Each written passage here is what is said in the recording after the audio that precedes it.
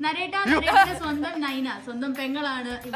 Hello അപ്പൊ എന്തൊക്കെയുണ്ട് വിശേഷം? സുഖമല്ലേ? ശരിക്കും പറഞ്ഞാൽ ഈ നൈന എന്ന് പറഞ്ഞ ഒരു ക്യാരക്ടർ രക്ഷപ്പെട്ട് പബ്ലിക്കിൽ നിന്ന് നടക്കുന്നത് നരേട്ടനുള്ളതുകൊണ്ടാണ് എവിടെ ചെന്നാലും എന്റെ അടുത്ത് പറയും ആ വാക്കത്തിൽ നിന്ന് എന്റെ പെങ്ങളല്ലേ നൈന എന്നുള്ള ഒരു രീതിയിലാണ്. അതുകൊണ്ടാണ് രക്ഷപ്പെട്ട് നിൽക്കുന്നത്.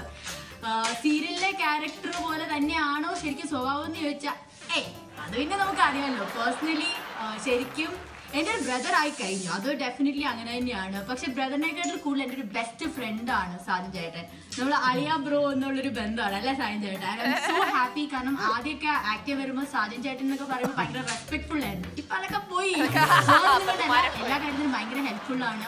ഈവൻ എന്റെ ഡ്രസ്സിങ്ങിനെ കുറിച്ചാണെങ്കിലും അല്ലെങ്കിൽ ആക്ടിങ്ങിനെ കുറിച്ചാണെങ്കിലും എല്ലാത്തിനും സാജൻ ചേട്ടൻ ഭയങ്കരമായിട്ട് എന്നെ ഹെൽപ്പ് ചെയ്യാറുണ്ട്. റിയൽ ലൈഫിൽ സാജൻ ചേട്ടനെ പോലത്തെ ഒരു ബ്രദറിനെ കിട്ടിയിരുന്നെങ്കിൽ ഇറ്റ് വുഡ് ബി പെർഫെക്റ്റ് ഗുണ്ടായിസ കുറച്ച് ഒഴിവാക്കിയാൽ മതി. എന്നാലും അപ്പൊ അങ്ങനെ തന്നെയാണല്ലോ എന്റെ ഒരു ബ്രദറിന്റെ ഒരു സ്ഥാനം തന്നെയാണ് സാജൻ ചേട്ടന്. ഞാനും സാജൻ ചേട്ടനിൽ എനിക്ക് ഏറ്റവും സാജൻ ചേട്ടൻ കുശുമ്പ് തോന്നിയിട്ടുള്ള ഒരു കാര്യം പറയുകയാണെങ്കിൽ ആ ഗ്ലാമർ ഹാൻസം ലുക്കാണ് കാരണം എന്താന്ന് പറഞ്ഞാൽ പലപ്പോഴും പുറത്തിറങ്ങുമ്പോൾ എല്ലാരും പറയുന്നത് സാജൻ ചേട്ടനെ കാണാൻ എന്താ ഭംഗി? ചേട്ടൻ മുണ്ട് കുത്തി വെക്കുമ്പോൾ അതായത് മുട്ടിന്റെ താഴ്ഭാഗം കാലിന്റെ ഭാഗം എന്നാണ് എല്ലാരും പറയുന്നത്. അതിന് കഴിഞ്ഞ ദിവസം കൂടെ പറഞ്ഞു ആ ഒറ്റ റീസണിലാണ്. കൊല്ലാനുള്ള ദേഷ്യം തോന്നാറുണ്ട്. ഇപ്പൊ ഞാനൊക്കെ ഇവിടെ വലിയ മേക്കപ്പ് ഇട്ട് വന്നാൽ എല്ലാവരും സാജുചേട്ടന്റെ ഗ്ലാമറിനെ കുറിച്ചാണ് പറയുന്നത്. പക്ഷെ ഐ ഹാപ്പി അബൌട്ട് കാരണം എന്റെ ബ്രദറിനെ പറ്റിയല്ലേ പറയുന്നത്.